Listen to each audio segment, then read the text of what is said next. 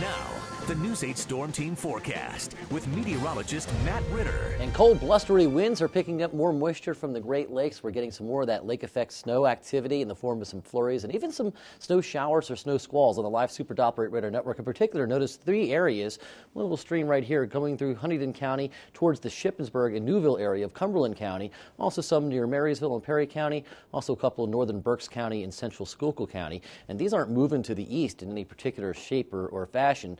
Wouldn't be surprised if a couple spots underneath some of these streams get a quick dusting of snow. Things are going to be just that scattered throughout the rest of the evening. And News 8 Storm Team forecast calls for basically scattered flurries and some snow squalls. Otherwise, cold and blustery. Temperatures will be dropping down into the lower 20s over the next couple of hours. Still have winds of 15 to 25 miles per hour, giving us some very cold wind chills, especially for just how long of a duration uh, this cold is lasting. The wind has really been relentless. 24 officially right now at Harrisburg International Airport and the air is very dry too. The dew point down in the single digits.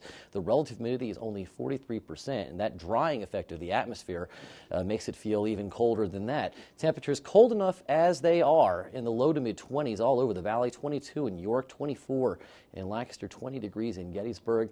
You factor in those wind, and you have the temperature. It may as well be those wind chills. 8 in Harrisburg, Lebanon, and Lancaster. About 10 degrees right now in York is uh, the apparent temperature, and all because of the storm system just continues uh, to dwindle and meander across uh, New England and eastern Canada. This is the same storm system, technically, that brought the brutal winter to the Midwest. It brought us our warm rains.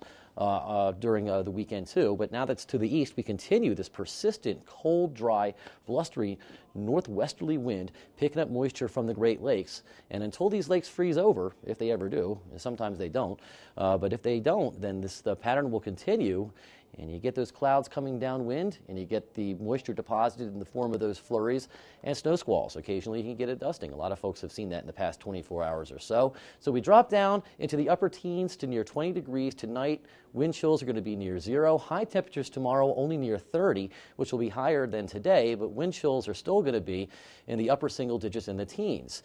Uh, and then we're finally back above freezing, it looks like on Thursday. Still a chance for some flurries, but it looks like the brutal winds will be gone by Thursday. There'll be a system cutting just to the south with some more clouds. Friday looks partly sunny at this point, about partly sunny and 36 on Saturday. There'll be a storm system cutting to our south on Sunday. Maybe close enough to bring us a touch of light snow. Jury's still out on that.